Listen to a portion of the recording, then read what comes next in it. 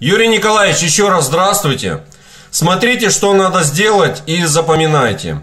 Сейчас будет полнолуние. Выходите на улицу, берете купюру в руки и показываете Луне. Приговариваете. Месяц, дружочек, наполни кошелечек. Игорь Васильевич, вы мой главный бухгалтер. Да есть у вас еще какие-нибудь конструктивные предложения? Вы знаете, Юрий Николаевич, к сожалению, я все передумал, и во время карантина это самое лучшее решение, чтобы пополнить бюджет нашей компании. Ой, мы вчера с девочками так хорошо посидели. Голова болит. Я тебя очень прекрасно понимаю, как никто. Возьми, опохмелись пивка. Ну что, все еще болит голова? Болит.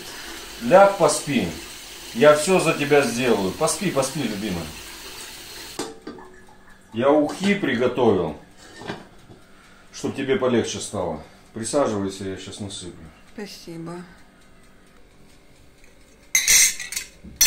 Вот теперь ты поняла, как надо себя вести, когда у любимого человека похмелье. А не ходить и трындеть весь день.